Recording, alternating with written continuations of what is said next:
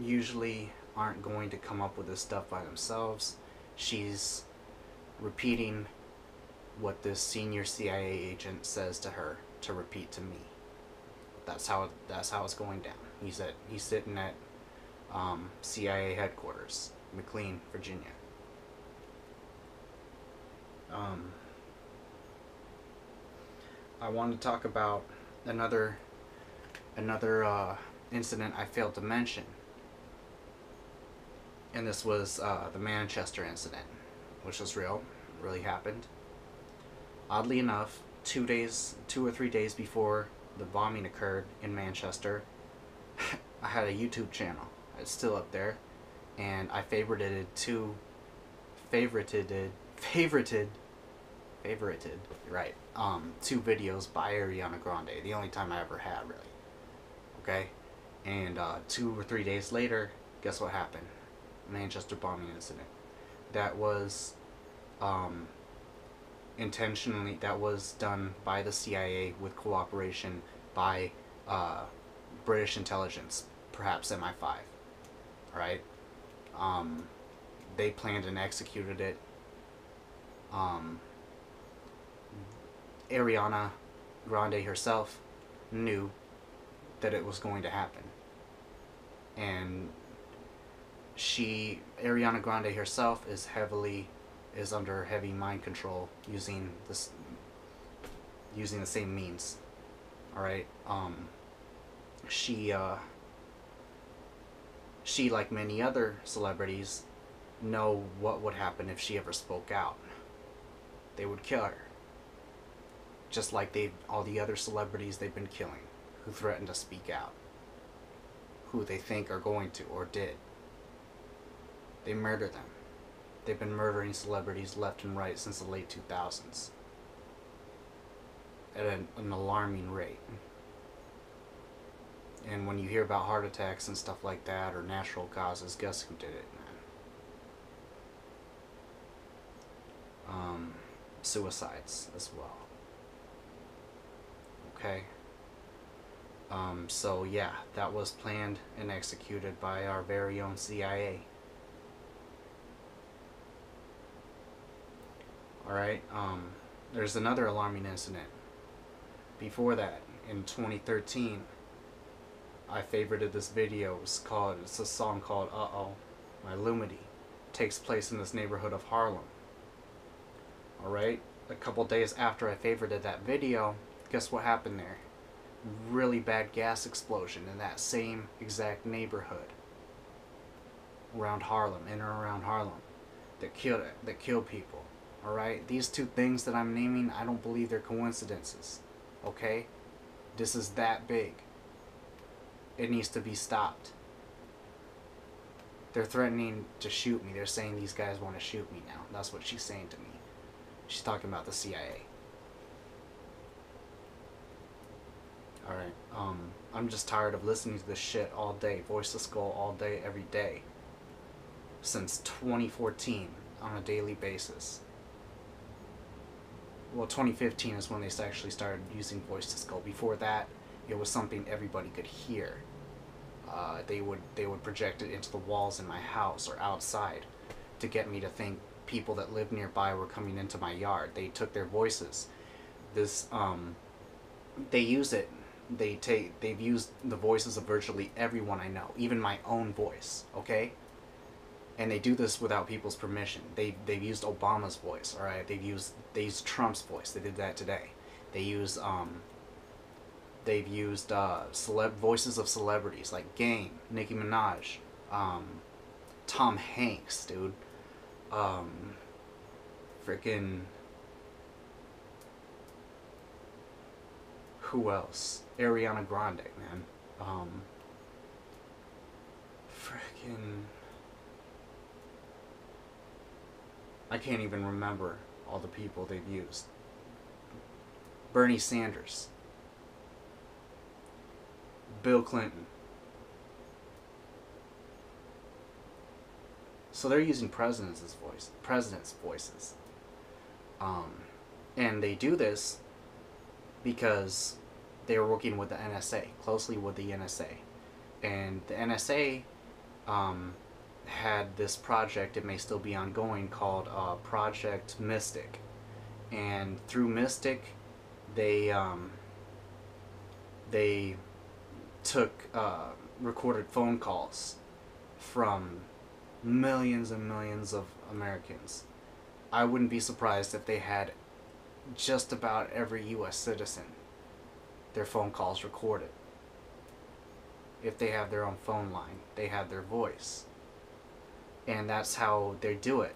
They they take the uh, they make filters, voice filters, vocal filters, using um, using the uh, these these uh, recordings, and they um, they create it using a filter, and they use a pr- computer program because there's there's also programmers, uh, maybe three or four, uh, working with Army intelligence with this woman, this female officer, working, um, you know, to do that kind of stuff. So they, they make filters out of the voices. I didn't know anything about this when it first started. I had no idea what the fuck was going on. And this is actually common with voice to skull. So it, that's potentially dangerous. I've, I've let people know that they've been using their voices, some people. And for, for the most part, originally at least, it was done without their knowledge or consent. They don't ask their permission to do it. They just take those voices and use them. All right, and is potentially dangerous if they use it on somebody who doesn't know what's going on because I didn't know exactly what was going on until earlier this year. And if somebody were to think the things that they ha- that they this this woman says using their voice filters, and there used to be more than just her as a as a as a voice to skull operator. Um, the things they have them say are threatening and obscene. Okay, and uh, if they were to lead somebody to believe that that was the actual person that was doing it, the owner of the voice, that could be potentially very bad for the individual whose whose voice they're using.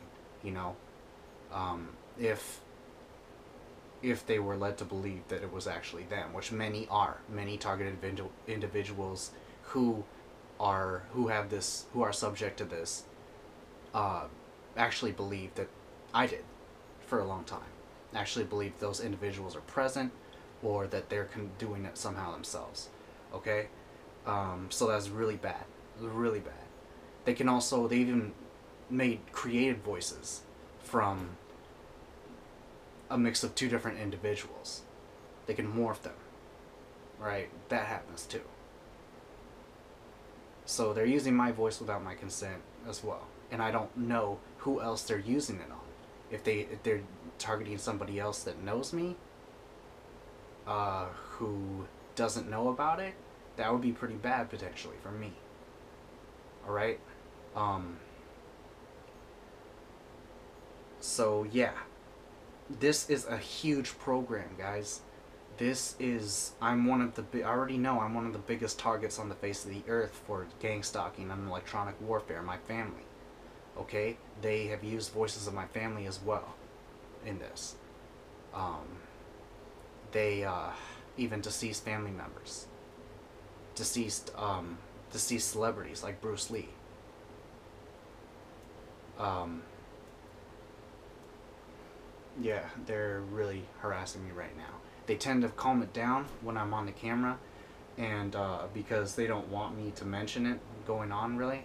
But also back when they were using, um, you know, fully audible voices by projecting them into the walls or in the air or outside, uh, they would immediately quiet down or become altogether silent whenever I would turn this this camera on and record, or whenever there was company over, they would immediately become very quiet because anybody could hear it. Now, usually not, but they usually do quiet down when I'm talking to someone else because most most of the time they are uh, this woman is telling them what to say to me, how to respond, how to act, and they use it. They don't they don't really ask, man. They threaten.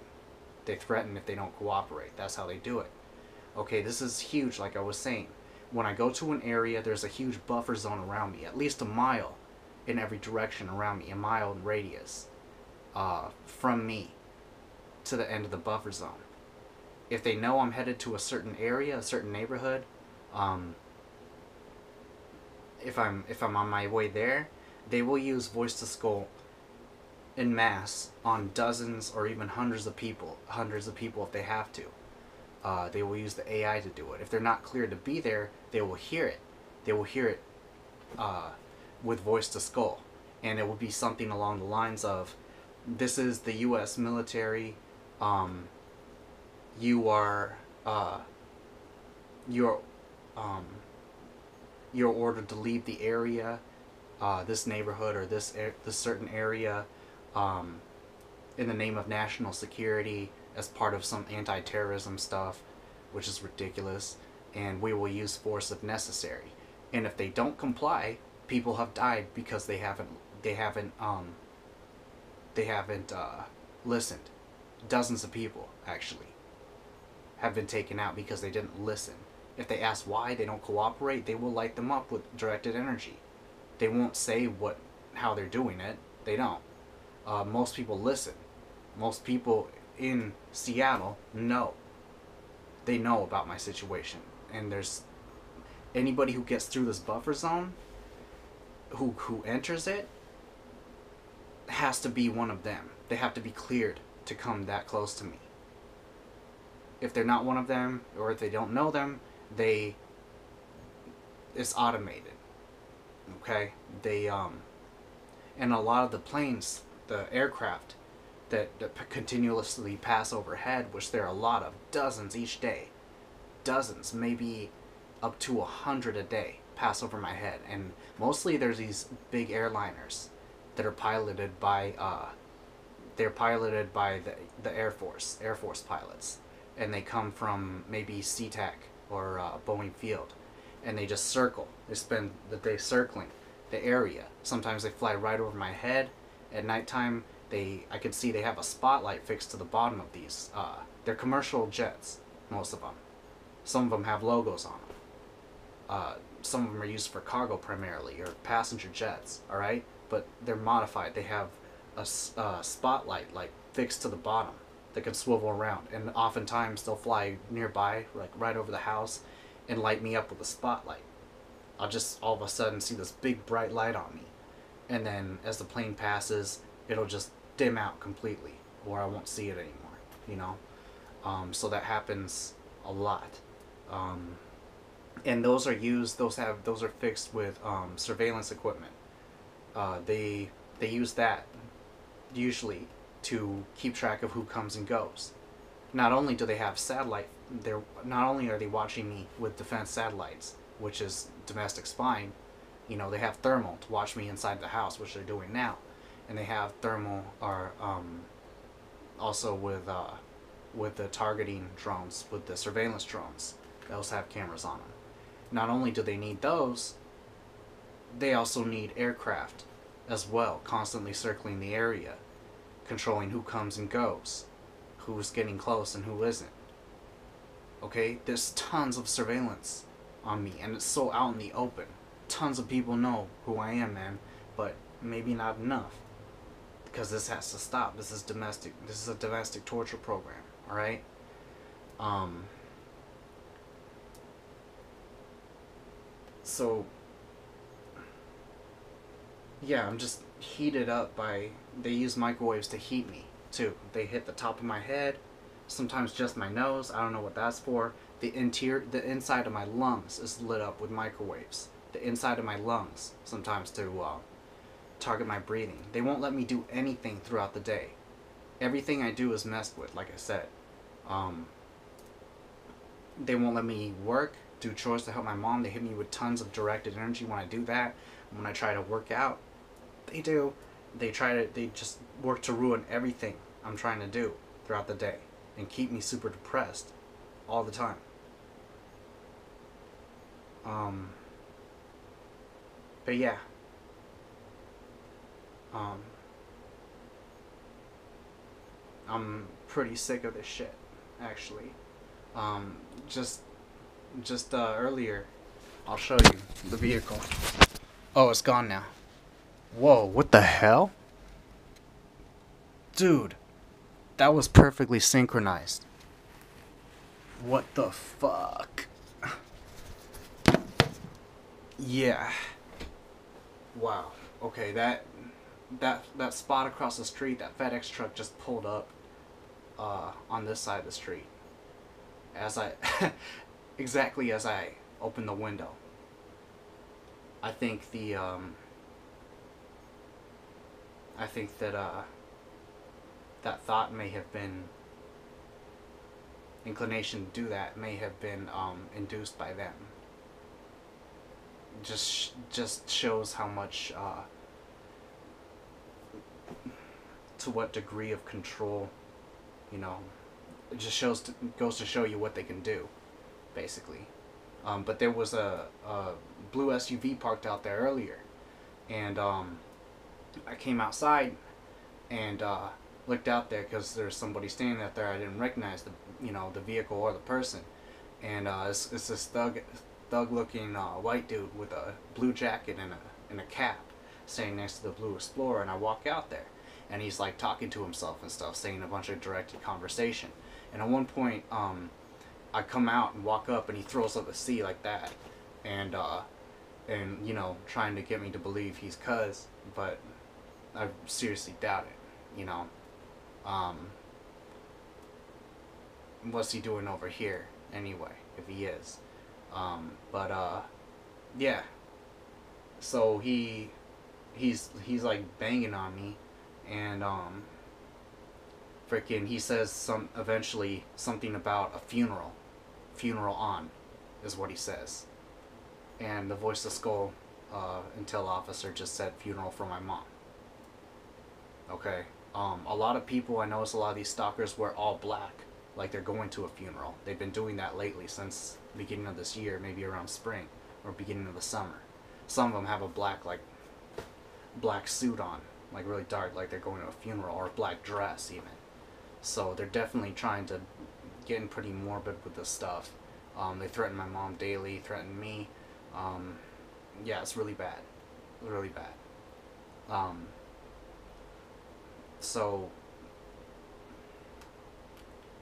so yeah and then um, this white van pulls up and I, I look over and um, there's this guy inside uh, and he's flipping his head around